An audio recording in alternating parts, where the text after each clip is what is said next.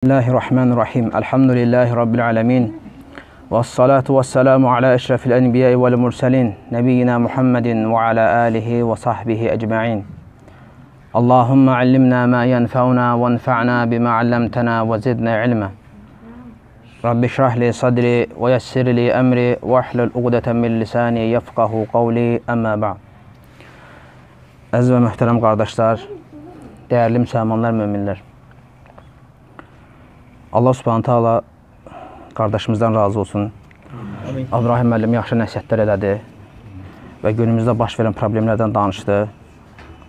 Həqiqətən hal acınacaqlıdır. Və bu problemlərin artma səbəblərindən biri də qardaş toxunduğu insanın özü ilə məşğul olmamasıdır. Əgər bir kəs öz nəfsi ilə məşğul olmursa, öz nəfsinin islahına çalışmırsa, ailəsinin islahına, hidayətinə çalışmırsa, sözsüz ki, başqa şeylə məşğul olacaq. Özü unudandan sonra şeytan onu alladacaq, din adı ilə, mənhəc adı ilə bəziyəcək, başqalarına məşğul olacaq. Və bu da bəzən görsən, bəzi insanlara baxsan, bu bəzi e, aciz insanların da yollarındandır. İmanı zəif adamların yollarındandır. Çünki özündə olan nöqsanı, qüsuru bilir, müəyyən günahlara meyillidir, bilir və özünə təsəlli vermək üçün deyir, bu məsələlərə də meyl edir. Deyir, bu dindir, əqidədir, mənhəcdir. Bəzi özünə təsəlli verir belə şeylər. Amma onun öz halına baxsan görərsən ki, bu əslində bu şeyin əhli də deyil. Bunluq da deyil.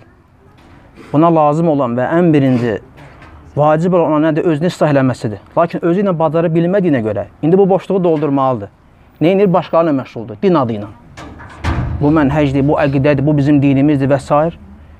Şeytan da bunu belə alladır əməlini buna belə bəziyir və həyatını belə sürür.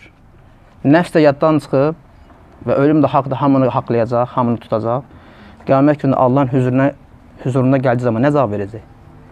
İnsanlar məşhur oldu, ondan danışacaq.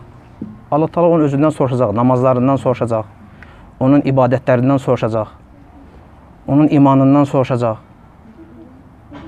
Lakin bu elədiklə onun əleyhinə olacaq. Əslində görürsən ki, bu cür insanlar çoxsu zülm eləyirlər haqsız yerə danışırlar. Qardaşların haqlarına girirlər. Çünki iman üzərində eləmir. İman zəif olanda, Allahdan qorxu az olanda, din adı da olsa şeytan bəzəyib. Haqlara girəcək, zülm eləyəcək və qiyamət günə bu bunun əleyhinə olacaq. Bu elə bilir ki, bunun xeyrinədir. Amma əksinə əleyhinə olacaq. Çünki əhli olmadığına görə lazım olmayan məsələlərə girişib. Öz nəfsini unutduğuna görə qiyamət onun əleyhinə olacaq. Ona görə hər bir kəsə nəsiyyətim, qardaşlar, birinci özümə və sonra sizlərə bütün o bizim o qardaşlarımız, onlar da bizim qardaşlardırlar ki, Allah Subhanahu onları haqq görünləsin. Müəyyən yollarını biraz səhv tutublar, düzgün mövqe tutmayıblar. Allah onları islah eləsin, haqqa yönəltsin. Onun ki, ən birinci nəsihətim qardaşlar, hər birimizə, bütün müsəlmanlara öz nəfsi ilə məşğul olmaqdır. Öz halva yanmaqdır. Gecə gündüz özü hesaba çəkməndir. Mən bugün nə eləmişəm, dünən nə eləmişəm, keçmişim necə olub? Və gələcəyə baxmaq ki, əgər mənim qüsurlarım varsa, nöqsanlarım varsa onu düzəltməliyəm. Çünki gələcəyə yaxşı addımlayasan deyə imanı artırmaq lazımdır. Və bu yolda sənə kömək edən şeylərdən biri də qardaşlar çoxlu istiğfar eləməkdir. Çoxlu tövbə eləməkdir. Çünki hər birimiz günahkarıq. Hamımızın günahları var, nöqsanları var. Və sən hər gününü istiğfara, tövbəyə həsr eləsən, sənin əməllərin də düzələcək və istiğfar eləmək, tövbə eləmək də lazımdır.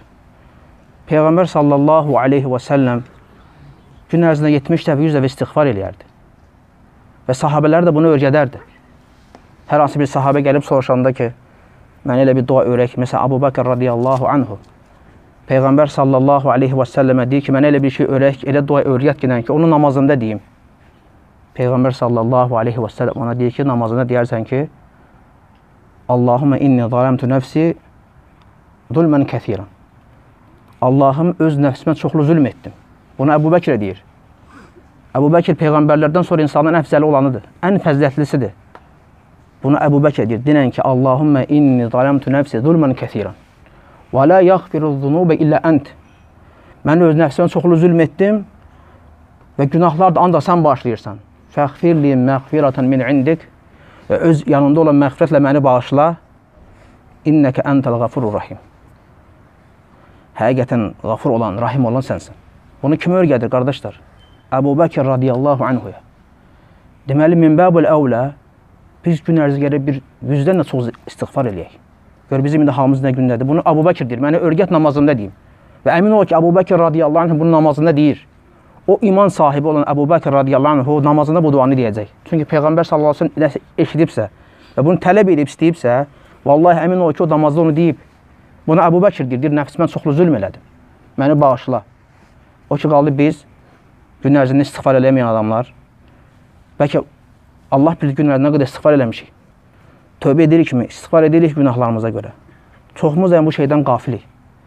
Və bilginən ki, Allah subhanahu və teala da bizdən elə tövbə etməyimizi istəyir.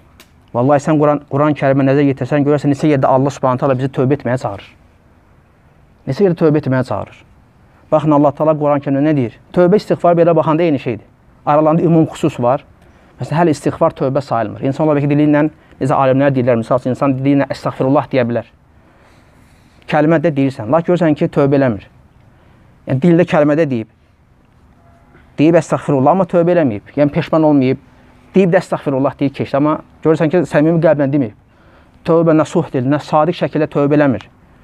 Lakin elə olur ki, həqiqətən cəm eləyir. Məsələn, necə Allah Taala Quran-Kərimdə bizə buyurur ki: "Ya eyyuhellezine amenu tubu ilallahi tövbeten nasuha."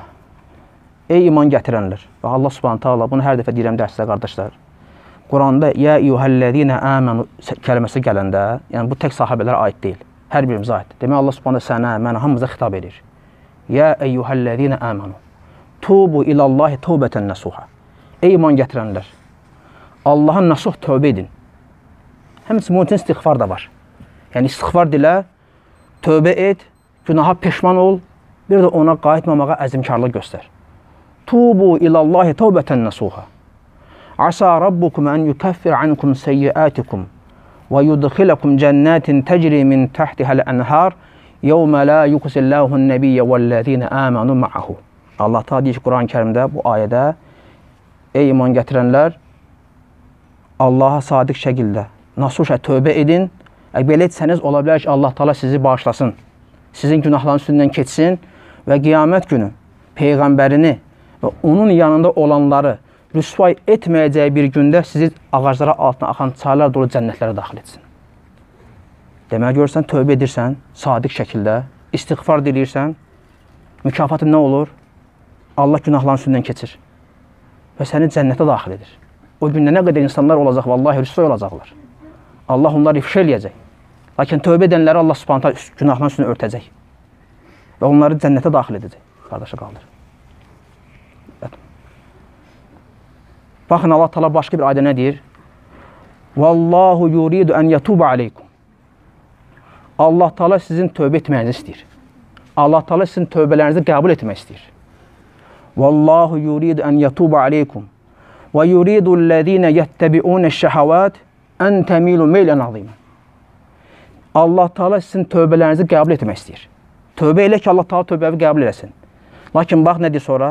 Amma deyir, o kəslər ki, öz havalarına uyublar, şəhvətlərə uyublar, sizləri sizlərin açıq-aşkar yoldan azmağınızı istəyirlər. Allah Taala tövbəvi qəbul etmək istəyir.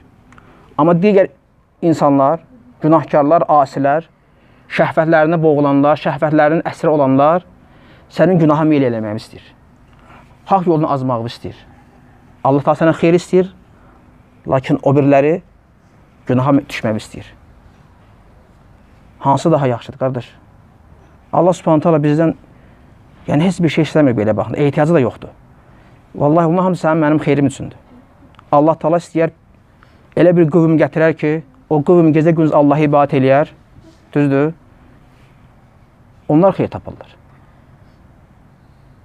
Lakin Allah Taala bizlərə möhlət verib. Biz biz asi olsaq da, günah etsək də, yenə Allah Taala bizim canımızı həmən almır. Bizə həmən cəzalandırmır. Başımıza bəla gəlmir. Nəyə görə deyir? Fürsət verir, bəlkə tövbə eləyəsə Allaha qaydasan. Və hər bir bax nəfs insan özünü bu ilə məşğul eləməlidir. Gecə gündüz günah üçün ağlamalıdır. Günahını istiğfar diləməlidir ki, ya Rab məni bağışla.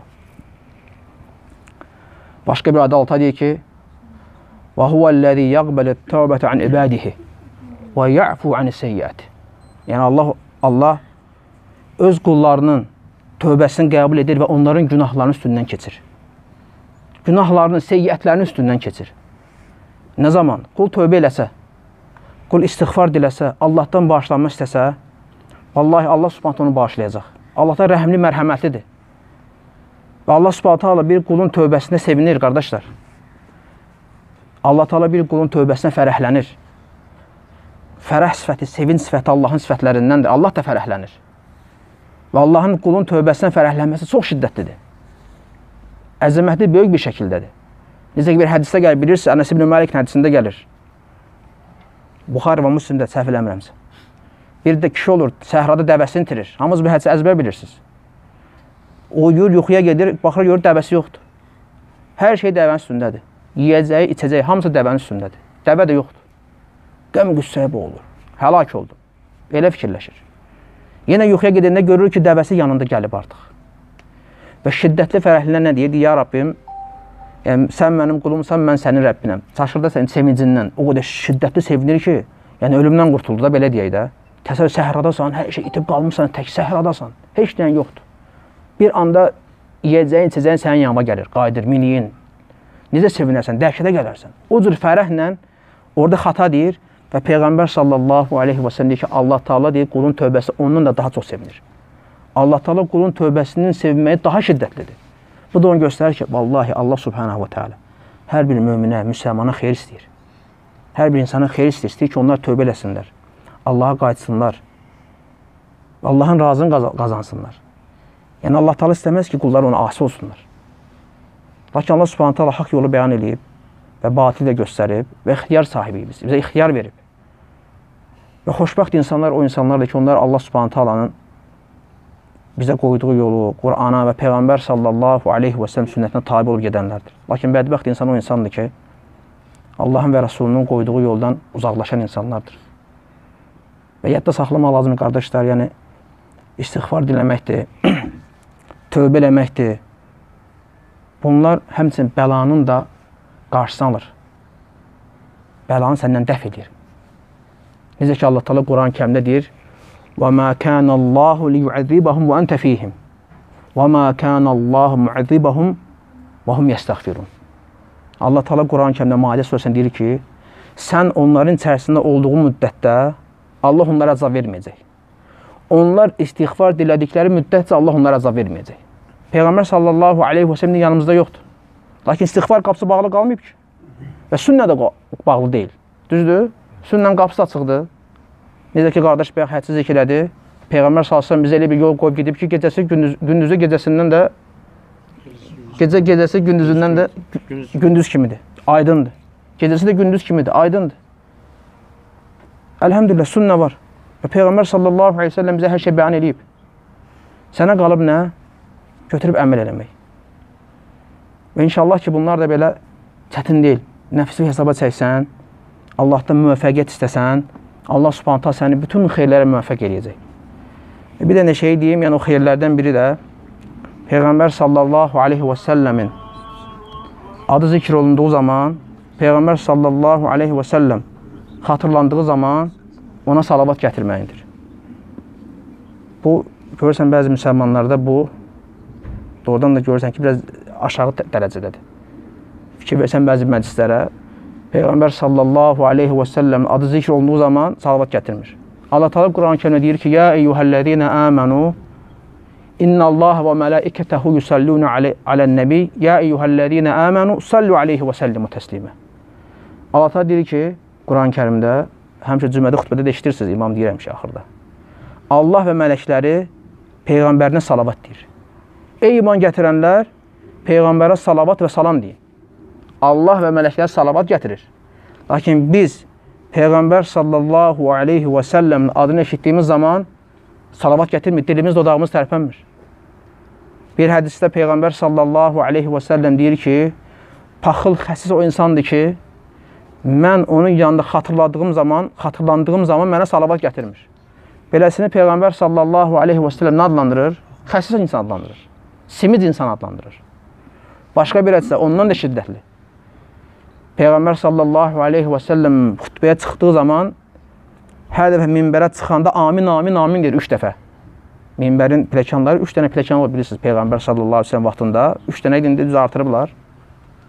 Amma əsl odur ki, minbərdə Üç dənə olmalıdır.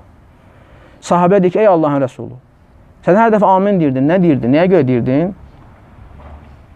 Onlardan biri nədir? Deyir ki, yəni deyir ki, yəni biri Ramazan gəldi, bədbəxt o insandır ki, Ramazan ayı gəldi və çıxdı o bağışlanmadı.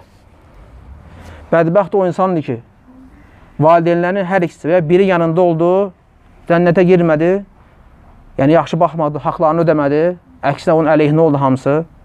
Və deyir, bədbəxt şəqi deyirlər, o hətta şəqi gəlir. Yəni, bədbəxt o insandır ki, mənim adım onun yanında xatırlandığı zaman, mən onun yanında xatırlandığım zaman mənə salavat gətirmir. Peyğəmbər sallallahu aleyhi və sələm biləsini bədbəxt adlandırır. Ya insan da ya xoşbəxt, qardaş ya bədbəxt. Xoşbəxt insanlar cənnətə gedən insanlardır. Bədbəxt insanlar kimdir? Cənnət yolundan uzaq düşən insanlardır. Ona görə Peyğəmbər sallallahu aleyhi və səlləm adı zikr olunduğu zaman qardaşlar, salavat gətirmək lazımdır. Xəsis simiz olmaq lazım deyil. Salavat gətirməkdə xeyir var. Peyğəmbər, bax, bugün cümə günü idi. Bəlkə də nə qədər insanlar var, baxsan, az salavat gətirir. Elə insanlar var ki, bütün günü salavatda keçirir. Necə hədisdə gəlir, sahabələrdən biri deyir ki, ey Allahın Rəsulu, bütün salavatımı sənin üçün eləyim mi? Bir o zaman bu sənin üçün kifayət eləyər. Bu qəm qüssəni qaldırar. Salavat gətirmək həmçinin qəm qüssəni qaldırır, qardaşlar. Sıxıntın getməsinin səbəblərindən biri də salavat gətirməkdir, çoxlu salavat gətirməkdir. İnşallah dərslərin birində inşallah ümumi salavatın fəziyyətindən danışarıq. Çünki Peyğəmbər sallallahu aleyhi və səlləmə salavat gətirmək əfsər əməllərdəndir və böyük əməllərdir, əməllərdəndir. O sənin Peyğəmbərindir. Allah Taala onu sənə göndərib. Peyğəmbər sallallahu aleyhi və səlləmin səbəbi ilə sən zülmətlərdən nura çıxmısan. Keçmişimiz, keçmişimizə baxsaq görərik nə gündə idik. Çoxumuz cahilliyi görmüşük. Amma Allah həmd olsun ki, Allah subhanətə bizi o zülmətlərdən nura çıxartdı. Zülmət də yox, zülmətlər. Nə qədər günahların içində idi. Nə qədər pis yollarda olmuşuq. Lakin Allah Taala bizim üzərimizə minnət qoydu. Səni zülmətlərdən nura çıxartdı. Ona görə bu neməti dəyərləndirmək lazımdır. Əgər biz bu nemət haqqı ilə verməsək, vallahi Allah Taala bizim əlimizdən alıb başqasına verər. Ona görə qardaşlar, ən mühüm dediyim kimi öz nəfsimizlə məşğul olmağımızdır. Çoxlu istiğfar diləməkdir və çoxlu tövbə etməkdir.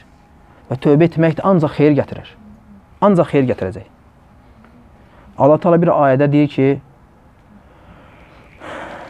"Və anistaghfiru rabbakum thumma tubu ilayh." Allaha istiğfar edin. Yəni Allahdan istiğfar diləyin. Sonra tövbə edin. Yəni əstəğfirullah deyin və tövbə edin, peşman olun. O günahlara bir də qayıtmayın. Sonra deyir ki, ayənin arxasında "Yumətti'kum mata'an hasanan ilə əcəlin musamma." Əgər belə etsəniz, tövbə etsəniz, istiğfar diləsəniz, Allah Taala müəyyən bir müddətə qədər sizin güzəranınızı gözəl edər. Və yu'ti kullazi fadlin fadlahu. Və hər bir kəsə, hər fəzilət sahibinə lütfündən, fəzilətindən artırar. İman həyəsən daha da imanı artıracaq. İslah edirsən, islah edirsən, sənə daha çox yardım edəcək. Yəni sənə olan fəzilətin üstünə fəzilət gələcək. Başqa bir ayda Allah nə deyir? Peyğəmbərinin sözünü gətirir. Peyğəmbərlərdən biri deyir ki: "Və ya qavm istəğfiru rabbakum thumma tu'bu ilayh." Ey qövmüm, Allahdan istiğfar diləyin və tövbə edin. Əgər belə olsa, nədir mükafatı? Yursilis səmaa aleykum midrara. Allah Taala sizə səmadan bol-bol bərəkətli yağışlar endirər. Və yumdit e, e, yox, e, yursilis aleykum midrara və yazidkum quvvatan ilə quvvatikum. Və sizin qüvvətinizin üzərinə qüvvət gətirər. Qüvvətin üzərinə qüvvət gətirər. Başqa bir ayədə Nuh əleyhissalamın sözünü gətirir. Nuh əleyhissalam nə deyir öz qövmünə? Fəqultu istəğfir fəqultu istəğfiru rabbakum innehu kana ghaffara. Mən onlara dedim ki, öz qövmümə Allahdan istiğfar deyin. O qafurdur. Günahları bağışlayandır, üstünü örtüb keçəndir. Yursilis səmaa aleykum midrara. Belə etsəniz sizə bol-bol yağışlar, bərəkətli bol yağış endirər. Və yumditkum bi əmvalin və bənin övladlarınızla, mal dövlətinizlə sizlərə yardım eləyər. Və yecəlləkum cənnətin və yecəlləkum ənhara. Və sizə bol bağçalar və çaylar verir. Deməli istiğfar edirsən, tövbə edirsən qardaş, Allah Taala qafurdur. Günahlar bağışlayır, üstünü də örtür, aşkar eləmir. Sənə bol nemət verir, səmadan bol, bərəkətli yağış endirir. Sənə övladlarınla Mal dövlətin də sənə yardım eləyir. Bu bilirsən nə deməkdir? Övlətlə mal dövlətlə yardım olunmaq. Sənin 5 dənə, 4 övladın var. Hamısı möminlərdir. Salihlərdir, islah əhlidir. Sənə imanda da sənə yardım eləyir. Dinində də sənə yardım eləyir. Dəvətində də sənə yardım eləyir. Sonra malla Allah sənə yardım eləyir. Malın var, mülkün var. Aparıb boş-boş yerə xərcləmirsən. Sədəqə, sədəq, zəkatını verirsən, sədəqəsini verirsən, lazım olanda kiməsə verirsən, yedizdirirsən, içizdirirsən, ailəvə də verirsən, ailədən də xərcləyirsən və özün də gözəl şəkildə özünə xərcləyirsən. Bax, Allah Taala səni bununla qüvvətləndirir. Və həmçinin bağ-bağçılar verir, bostanlar verir sənə və çaylar verir sənə, yəni öz nemətlərindən sənə verir. Səbəb nədir, qardaş? İstiğfar edib tövbə eləmək. Bir istiğfarla, bir tövbə ilə gör nə qədər nemətlər əldə edirsən. Və ən əsası da qiyamət ki, Allah Taala səni rüsvay olunan bir gündə bəzi insanlar rüsvay olacaqlar. O gündə səni rüsvay eləmir. Sənin günahının üstünə örtür. Aşkar eləmir. Nəyə görə? Çünki sən tövbə elədin. Çünki sən istiğfar dilədin. Allah ta səni bağışladı. Günahlarının üstündən örtdü. Səni ifşa eləmədi qiyamət günü. Bana ona görə də yəni qardaşlar, həmişə nəsihətlərdə yəni çalışırıq ki, faydalı olan şeylər deyək. Həm birinci özümüz faydalanaq, həm də qardaşlarımız faydalansın. Ona görə qardaşlar, birinci növbədə öz nəfsinlə məşğul ol. Xüsusi indiki vaxtda. Öz nəfsi islahı ilə çalış. Vallahi, yəni qardaş, ömür qısadır, bilmirsən nə qədər sənin ömrü nə qədər qalıb. Tövbə eləməyə tələsmək lazımdır. Keçmişə qayıt, dünənvə, bugünvə qayıt görsən, nə etmisən? Günahlar varsa istiğfar elə, tövbə elə və qardaşları da buna təşviq elə. Qoy qardaşlar da bu ilə məşğul olsunlar. Vallahi, yəni qardaşlarımızı xeyirli şeylərlə məşğul etmək lazımdır. Faydalı şeylərlə qoy məşğul olsunlar ki, həm özləri faydalansınlar, həm də ətrafdakılar faydalansın. Sən ola bilər Allahın sevdiyi quldan olarsan, mübarək bir insan olarsan, sənin bərəkətindən başqaları da faydalanır. Baxın alimlərimizə, hamısı mübarək insanlar olub. Mübarək nə demək? Yəni onun bərəkət başqasına keçir. Dəvət edib Allah onu Allah onu bərəkətləndirib, onları bərəkətləndirib. Allahın dinini öyrədiblər. İnsanlar faydalanma görürsən necə mübarək insandır. Yəni mübarək insan odur ki, ondan insanlar faydalanır. Bax, mübarək insan olmaq lazımdır. Harda olursan, o mübarək insan olmaq lazımdır. Mübarək bir insan olmaq üçün qardaşlar, birinci öz nəfsi islah eləməlisən və sonra cəmaatın da islahına çalışmalısan. Belə olduğu zaman vallahi xeyir tapacağıq. Və bizə qalan da bu olacaq. Və qiyamət günü Allah Subhanahu bizdən bu şeyləri soruşacaq. Yoxsa dedi, qodu, o qardaşlarla əlaqəni kəsmək, onun qeybətini eləmək, bunun haqqında pis sözlər danışmaq, dəqiqləşdirmədən və s. xüsusilə elm əhlinin, elm tələbələrinin qeybət etmək, onların haqqına girmək bu rüsvayçılıqdır. Və bu xuzlandır. Və bu qiyamət günü bədbəxtçilikdir vallahi. Onun ən birinci tövsiyəm, yenə deyirəm qardaşlar, çoxlu istiğfar etmək, çoxlu tövbə etmək və Allahdan istəyirəm ki, Allah subhanət hala bizi xeyirlərə müvəffəq eləsin. Allah subhanət hala bizlərə bilmədiklərimizi öyrətsin. Və biləndən sonra ona əməl edən qullardan etsin. Çünki əməl etmək mühümdür. Qardaş gözəl dedi dəstə. Yəni, yahudilərdə elm var idilər ki, əməl eləmirdilər. Elm var idi, amma əməl eləmirdilər. Amma nəsranilər, onlar da bədbəxt bir tayfadır. Elm yoxdur, amma necə gəldi əməl eləyir. Birində elm var, əməl eləmir. O birilərində elm yoxdur, amma necə gəldi əməl eləyir. İkisi də zəlalət əhli, və yolunu azmış bir tayfalar. Lakin sən möminlər əlhəmdə Allah Subhanahu bizləri ən gözəl olana hidayət edib. İslam dininə hidayət edib və sənə elm verib. Bizim elmimiz, bizim İslam dini bu elm əlhəmdülillah nəsx olunmayıb. Onların kitablarına baxsan təhrif olunub hamısı. İncilə, Tövratə baxsan Allahın ayəsini təhrif olunmuşdan ayıra bilmirsən. Lakin Quran və Peyğəmbər sallallahu aleyhi və səlləmin sünnəti qorunub, saxlanılıb, əlhəmdülillah. Sənə qalıb nə qardaş, oxuduq, oxuyub bildikdən sonra bacardığın qədər əməl eləmək və Allahdan bu yolda yardım istəmək. Və yardım istəmək də lazımdır hər bir şeydə.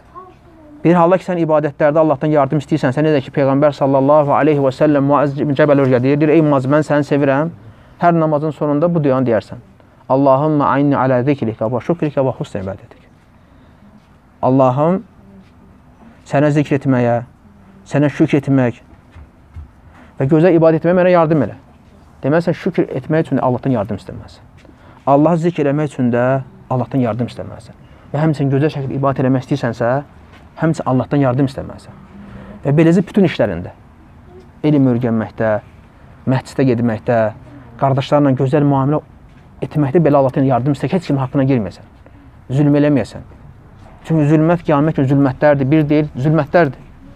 Və heç kəs də yəni qiyamət günü rüsvə olmaq istəmir. Kim öz savablarını kiməsə verilməyini istəyir. Hələ o da kifayət eləməsə günahlarını yüklənmək istəyir heç kəs. Düzdür? Ona görə bu həyatda zülm eləməyəsən. Öz nəfsinə məşğul olmalısan, çoxlu istiğfar diləməlisən, çoxlu tövbə eləməlisən. Bütün, vallahi hər birimiz, bax həyatımızı belə yaşasaq, bu problemlər olmayacaq. Bu söz söhbətlər də olan ol olmayacaq. Çünki insan özü də məşğuldur. Deyir, qardaş, mənim oyuna iş, nə işim var? Mənim öz halım var. Öz halına bələddir axı. Necə ki, bax səhabələrdən Ömər radiyallahu anh nifaqdan Allaha sığınır, qorxurdu. Gəlirdi Hüzeyfədən deyirdi ki, Peyğəmbər sallallahu aleyhi və səlləm sənə münafiqdən adın deyib, mənim adım orada varmı? Ömər radiyallahu anh deyir bunu, subhanallah. Əbu Bəkir radiyallahu anhu Hanzala, bilirsiniz Məkkədə olanda, Hanzala yolda ağlayır, Əbu Bəkir deyir, niyə ağlayırsan? Deyir, Peyğəmbər sallallahu aleyhi və səlləm yanından ayrılanda imam zəiflə elə bilir, münafiqəm, münafiq oldum deyir. Əbu Bəkir də ağlayır. Gör kimlər, subhanallah. Qardaşlar, elə bilirlər ki, münafiq olublar. İman zəifdir ki, imanım zəifləyir. Peyğəmbər sallallahu aleyhi və səlləm yanında iman artır. Oradan ayrılanda imanım zəifləyir. Dünya qar baxma, dünya işləri də var, adam başı qarışır. Onlar gör necə nifaqdan qorxardılar. Lakin biz elə gəzirik ki, elə bir cənnət əhlik, vallahi. Zamatı da zəatə salırıq. Bidət əhli, zəat əhli, soxdu hamını cəhənnəmə, bir dənə bizik cənnət əhli. Bax, bəzi insanların günü güzaranı belə keçir, qardaş.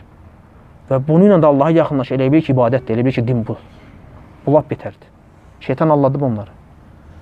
Boş-boş şeylərlə məşğul edib. Vallahi nəfsini yaddan çıxardıb.